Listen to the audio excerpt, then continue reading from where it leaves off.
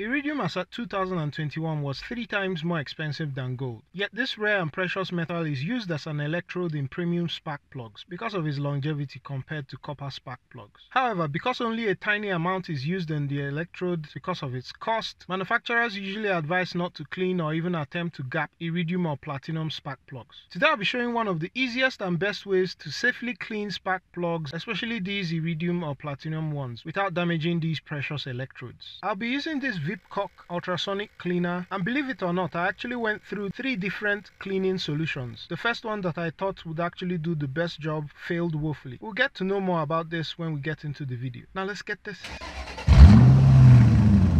Circumstances, spark plugs do not need to be cleaned. That said, under certain circumstances, spark plugs can accumulate deposits and become fouled. Basically, any condition that distorts the air-fuel ratio would lead to increased deposits on spark plugs. This will include a dirty air filter, a lazy MAP, MAF or O2 sensors and so on and so forth. In these circumstances, cleaning out these formed deposits can help improve gas mileage, reduce or eliminate misfires if present, and optimize the combustion process. However, it's important to state that you should rectify the issue responsible for fouling the spark plugs because if not, the deposits will continue to form. I'm using this mini ultrasound cleaner from VPCOK. The manufacturer doesn't specifically say it cleans automotive parts, but yeah, the principle of ultrasonic cleaning is the same. I first started by using Valve Clean from Liqui Moly, which has built a reputation for dissolving carbon. However, after three rounds of 5 minute cleaning cycles, it became quite clear that there was nothing happening. The product had failed woefully. In all fairness, the manufacturer never recommended it for use with an ultrasonic cleaner. Also, the fact that it was causing large bubbles wasn't a good sign either. Ultrasonic cleaning relies on the generation of really tiny bubbles that form in the liquid and explode on impact with dirt.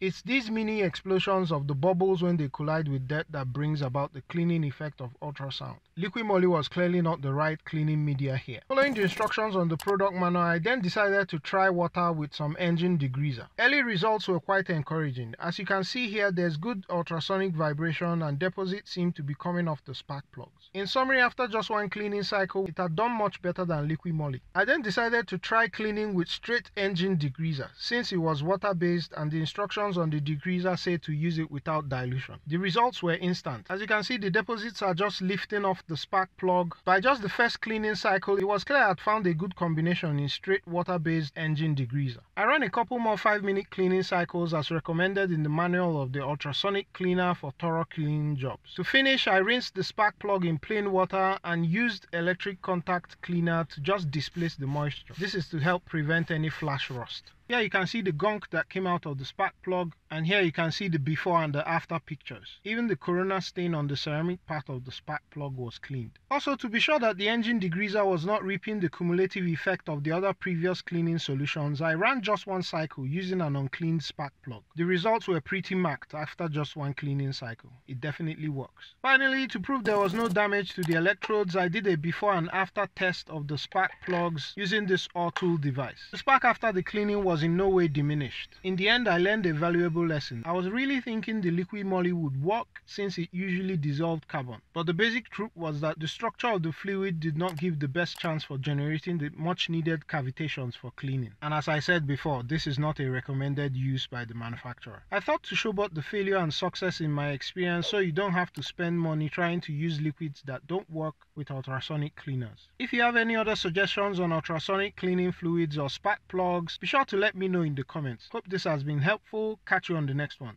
Peace.